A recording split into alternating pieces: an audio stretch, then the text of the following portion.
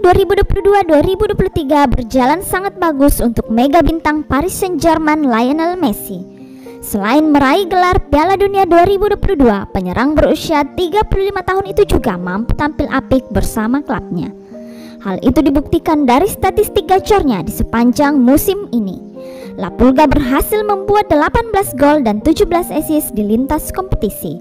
Tak sampai di situ saja, Messi juga berhasil menorehkan satu statistik hebat lainnya.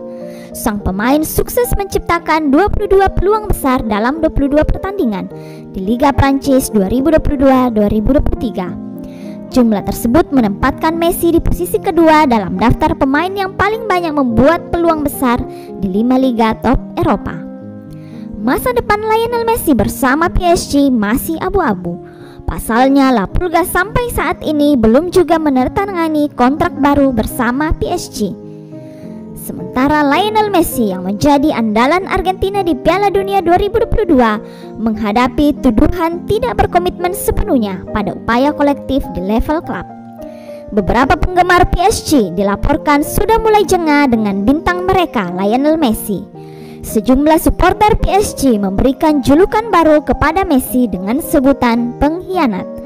Julukan tersebut merupakan bentuk kekesalan para pendukung PSG kepada juara Piala Dunia 2022 itu. Mereka kesal karena Messi tak kunjung memperpanjang kontraknya bersama PSG dan malah dirumorkan akan pergi dengan status bebas transfer.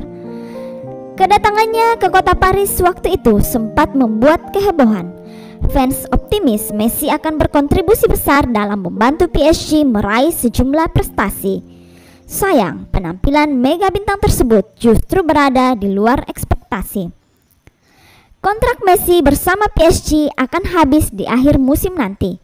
Sementara masa depannya masih dalam tanda tanya besar menyusul kegagalan Les Parisiens di ajang Liga Champions.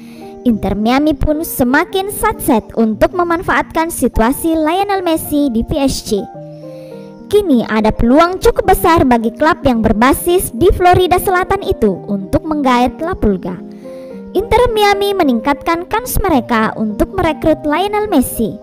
Jika PSG tak memperpanjang kontraknya, maka Inter Miami siap menampung Messi dengan tawaran yang menggiurkan tentunya. Terlepas dari keinginan Inter Miami, ada kabar bahwa Lionel Messi tertarik untuk memperpanjang masa tinggalnya di PSG selama klub dapat meyakinkannya bahwa mereka akan tetap kompetitif setelah tersingkir lebih awal untuk kedua kalinya berturut-turut dari Liga Champions. Di samping itu, pemain berusia 35 tahun tersebut gencar dikaitkan dengan kepulangannya ke Barcelona. Terlebih, Presiden Barcelona, Joan Laporta, juga mengharapkan bisa bekerja sama lagi dengan pemenang 7 di d'Or. Di sisi lain, Lionel Messi juga dilaporkan mendapat tawaran fantastis untuk bermain di Al Hilal. Al Hilal dilaporkan siap memberikan Messi gaji tertinggi andai main di Liga Arab Saudi.